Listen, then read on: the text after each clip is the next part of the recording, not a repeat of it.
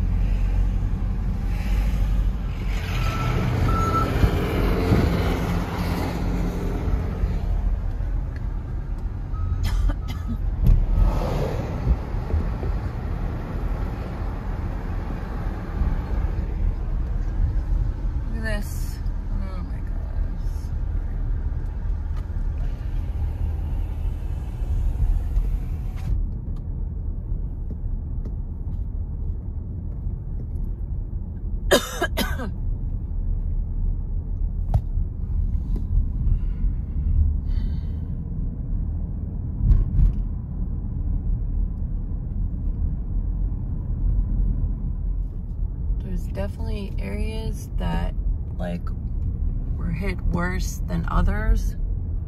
You could just see it like kind of comes and goes.